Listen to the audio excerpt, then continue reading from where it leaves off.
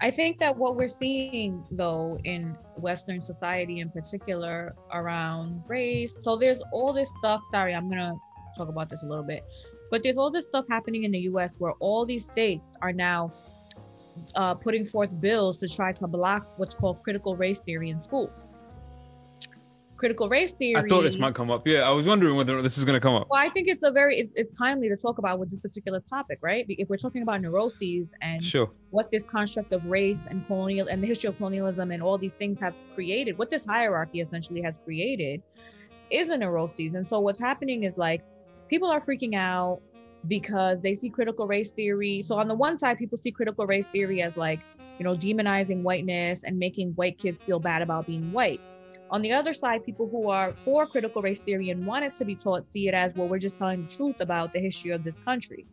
Um, I think it's,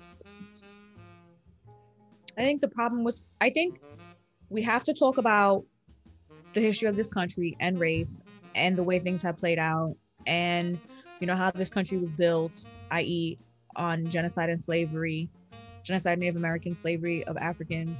Um, we have to talk about those things but I do agree that critical race theory, I think, because critical race theory takes for granted that race is real, biologically real. Okay. And I think, anyway. Okay. Um, and I think that to a degree, it is critical race theory is this thing that's utilized in a way. Like it's one thing to you should talk about the history, you should talk about everything that's happening. But if you're trying to make everyone feel guilty yeah. as an, on an individual level, what's the point of that? Is that the case though? I think it is. Well, okay, let me say this. From I don't know how it's being taught in every school. Right. As an educator in the university setting, yeah. talking to other teachers, other professors, other adjuncts, I do think a lot of times the way that they talk about race is in this very it's in a it's it's it's it gets everything gets boiled down to the interpersonal and the individual level. Whereas it's like these are systems. These are systems and historical things that that happen and these are systems that are in place. How do we dismantle these things without making you white student as an individual feel like you this is your fault? Well look i'm not going to pretend that let me just say this outright at the outset in case there's mm. anybody on here like all super critical race theory type person whatever else. Mm-hmm. i'm not an expert in critical race theory. I don't know mm-hmm. american critical race theorists. We don't read that stuff over here. That's not a uk thing as far as i know. Um maybe I'm not yet but it will be. It's a matter of time but it's a matter of time, yeah. Matter of time. But the point is, for the time being, I'm not familiar with any particular kind of like authors in the in the area that will consider themselves critical race theorists as such. Mm-hmm. I don't. So look, I'm not speaking to that as as an expert mm-hmm. in any mm-hmm. way, shape, or form, what have you. None of that is right. That's not at all what I'm doing. But mm-hmm.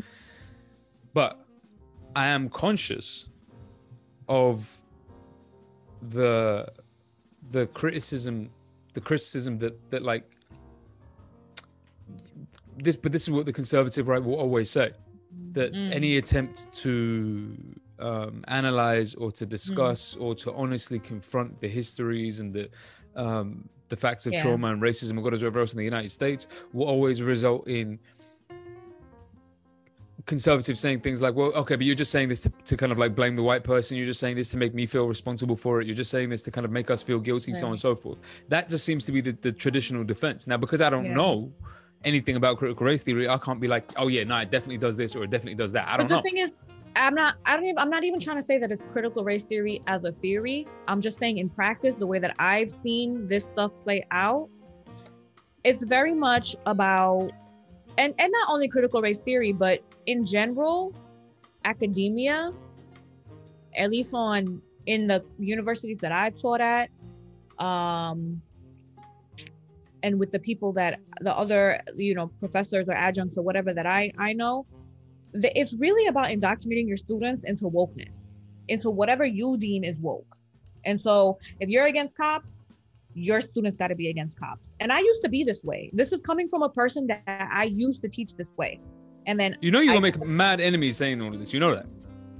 Oh, okay I'm just warning you. I'm not, I'm not in the US, but I know y'all are crazy. Get online. You know how many enemies I already got? Okay. I don't care. I don't know. People don't like me. It's fine.